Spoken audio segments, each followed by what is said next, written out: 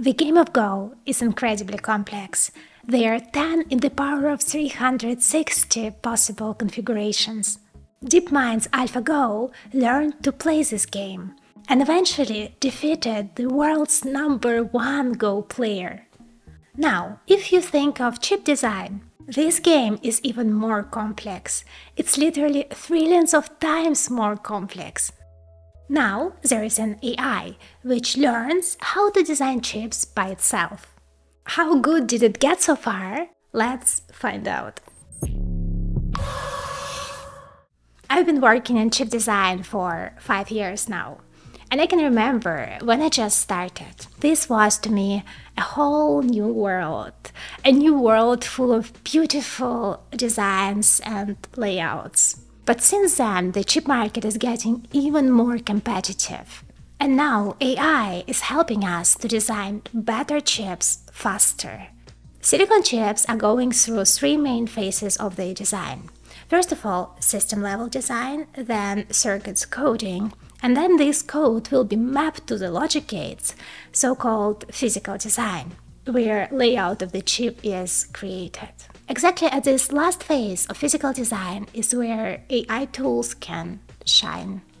Just imagine you have a fixed area for your chip, and your goal is to fit as many logic as possible to this area because area is money. When you're fabricating chips on the fab, you pay per area. Floor planning is sort of similar to planning a new apartment when you strategically plan all the water sources and also sockets to get the socket as close to your table as possible to avoid using extra wires. The idea of floor planning is very similar. You want to place all the macros, so all the blocks and all the standard cells, in the most optimal way possible. Usually, chip designers are doing it using EDA tools, so-called electronic design automation tools. These tools doing a lot of math at the background. Basically, they're computing the most optimal spot for each particular cell. And again, they are doing this optimization, optimizing for the best PPA. We call it PPA. It's power, performance, so speed and area. This process is obviously a lot of work. It's very time consuming. It can take from a couple of weeks to months for really complex designs. This problem is so incredibly complex because we have lots of states to consider. If we compare it to the game of chess, which has 10 in the power of 123 states, and then a game of Go has 10 in the power of 360 of states. The chip game has 10 in the power of 90,000 states for a small design. But you can imagine for complex designs like SoCs, this is even more complicated. And guess who is amazing at such games? artificial intelligence. AI is great at learning from huge data sets. That's why in the last years, EDA companies and chip makers start to develop AI tools for chip design. These tools won't replace human engineers, but what they can do, they can help in the process of chip design. Basically, I can outsource some of the time consuming routine tasks to an AI assistant so I can get more free time for creative work, for concept work, for work which brings value.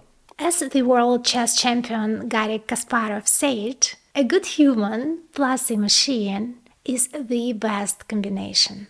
So, how AI for chip design works. Here we are using GNNs, so graph neural networks, and reinforcement learning.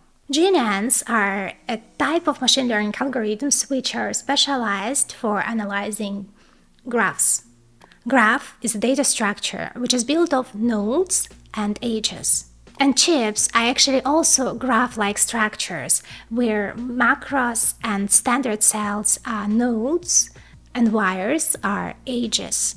GNNs extract information from graphs, make predictions about their connections, and rearrange nodes to find the best fit. And when we combine it with reinforcement learning, this turns the floor planning into a graph optimization game. Reinforcement learning is really popular right now. It's used by DeepMind for training AlphaZero and AlphaGo to play chess and Go. And it was also used in the training of ChatGPT. The whole idea of reinforcement learning is to complete a task in an environment which is driven by rewards. Neural network model is being trained on thousands of floor plans. And these floor plans are developed by human experts, and these are optimized for power, area, and speed. Then AI generates lots of floor plan options for a particular chip and human experts will be ranking all these floor plans. When a floor plan is well optimized for wire length, congestion, leakage, area, AI will be getting a reward. But in case AI comes up with a suboptimal floor plan, it will be punished. In this way, AI over time iteratively learns how to come up with a floor plan optimized for getting the highest reward. I don't know if you remember, but it's all started with one very famous paper. It was a paper by Google published about a year ago, a graph placement methodology for fast chip design. Basically, in this paper, they described how they used AI for designing Google chip, so-called tensor processing unit.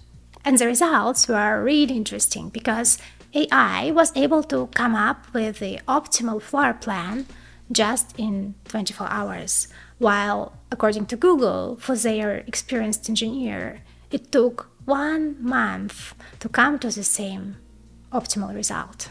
And the key highlight of the paper was the speed. They're saying, look, AI can do it so much faster. But this was some year ago. Since then, there were more recent and even more interesting results published. For instance, by Cadence. Cadence is the largest EDA tool company, and they've also developed an AI tool. They've used this tool for a 5 nanometer mobile chip, and they were able to improve chip's performance by 14% and reduce the leakage power by 7%.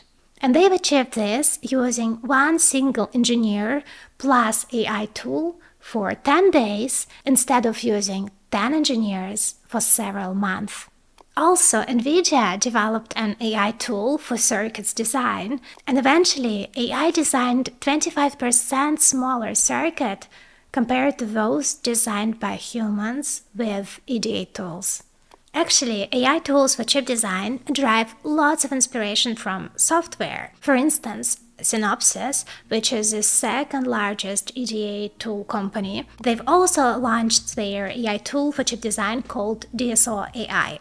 This tool was inspired by DeepMind's AlphaZero, and Synopsys has already used this tool for more than 100 chips tapeouts and this tool helped them to reduce power consumption of the chips in average by 15%, as well as to reduce the area and overall the usage of human resources. this result sounds fascinating, right? But don't jump to the conclusions quickly because in reality, chip design industry is in the early in the very early phase of AI adoption. So far, AI used by just a few companies and just in a few steps in the chip design flow, just in the few steps out of thousands of steps. So AI can help us in the process of chip design, but we will always need human engineers because chip design is so complex, it's so creative, it's just rocket science. Still, in the long term, I see a lot of potential applications of AI in chip design. First of all, with AI, we can design chips faster, and time is money. Moreover, I tried to use ChatGPT to write RTL code. This is, if you remember, step 2 of chip design flow. Let's have a look. Can you write a code of an infinite impulse response filter in VHDL? Oh wow, this actually looks correct. And you can ask it to explain the code and then use this explanation for documentation, which is amazing. If AI shown to speed up floor planning and chip design, why can't you use it to speed up verification? Because you know, verification, so verifying features of a chip, usually is very time consuming. It's even more time consuming than physical design. Sometimes it can take up to 60 to 70% of the chip development cycle. If only AI could help to accelerate the verification, this would speed up time to market a lot. On top of this, AI can be used in the chip design industry beyond chip design. For instance, it's already used for visual inspection of the wafers to detect defects on the wafer quickly. And with AI, they've achieved nine times process speed up. If you noticed, in the last years, there was a huge trend. Everyone was building AI chips. A lot of startups and large chip makers were building AI accelerators to give more compute power to AI. And look now, there are chips designed with the help of AI. So basically, AI speeding up itself. Hmm? What comes next?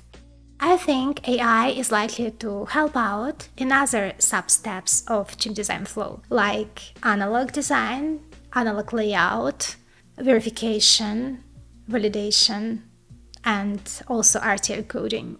And eventually, AI can start helping out to co-design the entire stack, so hardware and software together that powers AI itself. And here we are heading into the endless technological explosion. You know, so far there were a couple of game changers which made modern chips possible. First of all, invention of transistors, then connecting those transistors to build standard cells, then came EDA tools, and now AI.